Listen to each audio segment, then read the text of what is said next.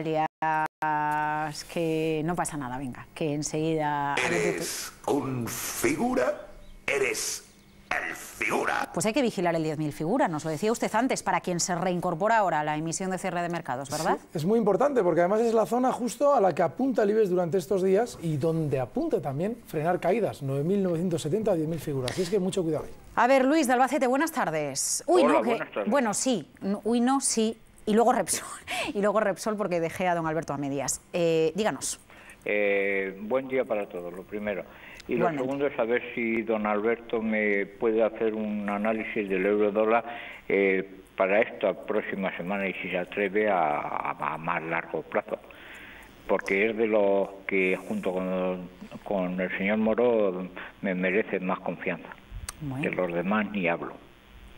Bueno, aquí cada uno, pues ya sabe usted. Sí, es que a algunos no se les entiende y, y al día siguiente y luego a la semana siguiente cuando están mm, parece que han, han dicho lo contrario de lo que claro como no se les entiende luego no Bueno, lo venga, puede no, decir. yo creo vale, que no, no, no vamos a criticar a Vale. nadie. Aquí Un echamos flores, pero día. nada de rapapolvos. Venga, estupendo, gracias. Venga, vamos al euro dólar. Pues tiene todavía subida, tiene todavía un poquito... Uy, algo que puede subir según Alberto Iturralde. Pues Esto sí. es noticia esta tarde. sí. Vale, vale, Sí, tiene perdón, todavía perdón, ¿eh? subida eh, seguramente hasta la zona 1.4750 de manera inmediata. Usted quiere un poquito más a largo plazo. Pero de manera inmediata para especuladores de Forex, la zona 1.47. Se va a ver aquí además por qué esa zona 1.47 es resistencia. Ahí lo hemos marcado.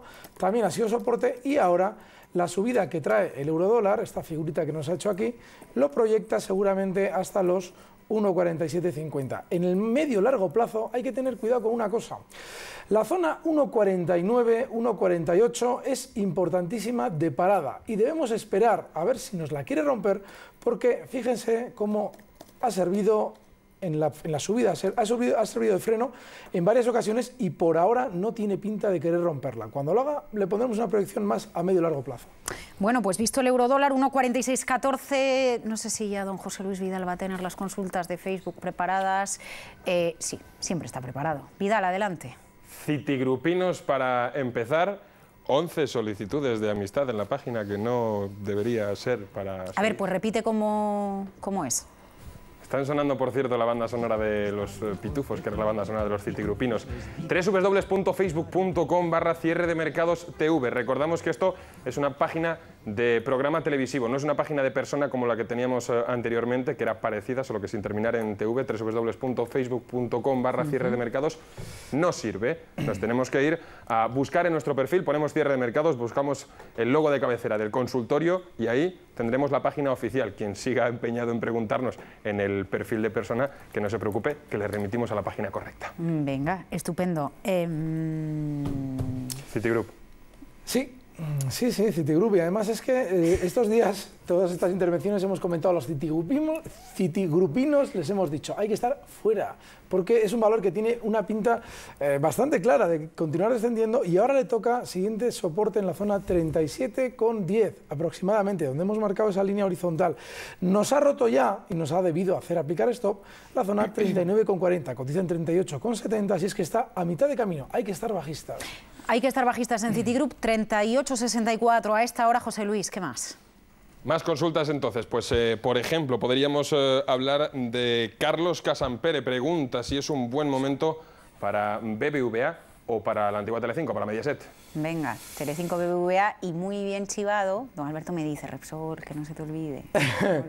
Bueno, a BBVA le toca un poquito de caída. Seguramente la vamos a ver desde la zona eh, 8, perdón, 7,82, donde cotiza justo al cierre. Lo vamos a ver muy probablemente en los 7,72, de manera que uno y medio de caída todavía le queda.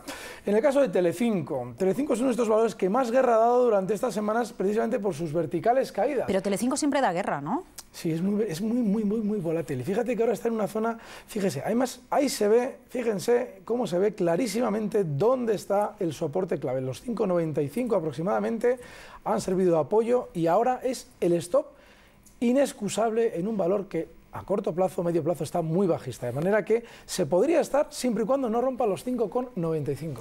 Eh, miremos a Repsol, a ver, venga. Vale, pues Repsol.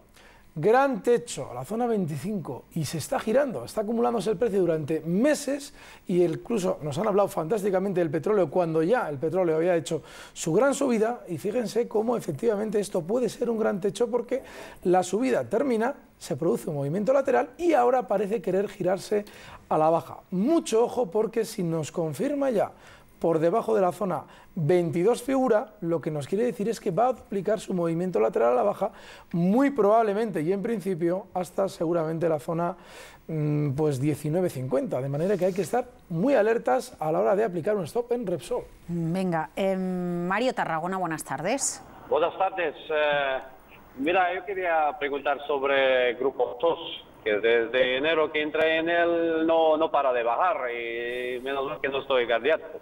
Mm, ya, mm, vale. Pues muchísimas gracias. ¿Es sindicato del vicio? Es sindicato puro y duro del vicio. Ay, de verdad, ¿eh? Sí, ese es el problema, que cuando suben un montón, eh, además pensamos siempre, digo, es que me, subí, me he perdido una subida de un 30%. Ya, pero es que en esta lo lógico es eh, jamarse la caída luego del 90%. Bueno, pues nada, 0,56 y está ya a punto de cotizar en unos mínimos, eh, bueno, pues son importantísimos, los 0,53. Nada, no hay que estar. De hecho, son mínimos históricos y van a seguir siéndolo. No, yo en su lugar me mantendría completamente al margen de este precio. Y mucho más si llegara a cotizar por debajo del 0,53. Vidal, ¿qué más? Pues eh, Roberto Carlos da Cruz nos pregunta por eh, gas natural, nos pregunta por eh, Telefónica y como ya hemos comentado Repsol, nos pregunta por esos dos. Gas Muy bien. Gas natural y Telefónica, ya vamos. Ya están, los dos fichados. Telefónica tiene todavía más recorte. De hecho, durante estos días, a la hora de descender el mercado en general, Telefónica va a arrastrarlo con un poquito más de fuerza. Ese que está ahí es gas natural y a ver si entra ya teléfonos. Bueno, ya está. Ahí lo tenemos. Bueno, pues fíjense cómo cerraba en mínimos de la sesión y tiene toda la pinta de ir dirigiéndose durante estas sesiones hacia su siguiente soporte inmediato, que son los 16,20. De manera que este es otro de los que tiene un 1% en principio de caída, pero con bastante peor pinta que el resto de, los valores importantes, como son los bancos. Venga, ¿y Telefónica? Este era Telefónica. Ah, perdón, perdón, estaba, pensando en gas natural, discúlpeme, discúlpeme, falta de concentración. No pasa nada. Bueno, pues el caso es que gas natural ahora no es que esté especialmente mal, pero sí que si estamos en este valor hay que tener en cuenta un detalle, y es que en el medio largo plazo está ya justo en una zona vital de resistencia. Se ve aquí cómo frenaba en el pasado en esa zona 13,50, al igual que lo ha hecho durante este mes pasado, frenaba las subidas. Bueno, pues esa es la zona en la que salir. El stop más cercano debería estar en los 12,75, lo cual nos obliga a que a la hora de estar comprados en gas natural esperemos antes un recorte hasta los 12,75 para entrar compradores. David Zaragoza, buenas tardes. Sí, buenas tardes. Díganos. Eh, un momento que bajo la radio. A ver, ah. sí, quería preguntar por dos valores. Uno es español, Indra. Eh, he entrado ahora en 14.29 y quería saber, bueno, pues si, si me he equivocado o si, o si lo he hecho bien. He entrado en CFD, pero a la baja. Y quería preguntar también por un valor americano, es US Physical Therapy. No sé si este analista lo, lo, tiene lo tiene analizado y bueno, si lo tiene, pues soporte y resistencia. También estoy dentro, ¿eh? Estoy en 24,84. Nada más. Venga, Indra 1425. Vamos a ver con Indra porque ese valor americano no lo tengo. Así es que, eh, pero vamos a ver, en la posición corta que usted ha abierto, Está bien porque durante estos días Indra tiene pinta de continuar algo más de recorte, pero fíjese cómo está llegando ya a una zona de soporte muy importante. Esa zona 14,20 que tocaba hoy como mínimos es una zona de soporte vital en el valor. Eso quiere decir que aunque quiera recortar durante estos días un poquito más, va a ir formando un suelo de manera inmediata. Yo en su lugar me plantearía ya un stop a esa posición en el lado bajista en los CFDs bueno, que le podría, ser, bueno, le podría servir justo los 14,60. Y bueno, pues su objetivo bajista, si es que las cosas tienen que funcionar bien en el lado bajista, en Indra, podría estar en los 13,65. Pero tenga en cuenta que esos, esos 14,20 donde está usted es mal, mal punto de cortos. A ver, eh, Vidal, ¿cómo se dice lo de Alberto Iturralde, alias? Figura, ¿no? Eres un figura, eres el figura. El figura enseguida, tras las noticias con todos ustedes. Alberto, no cierre el ordenador, enseguida volvemos.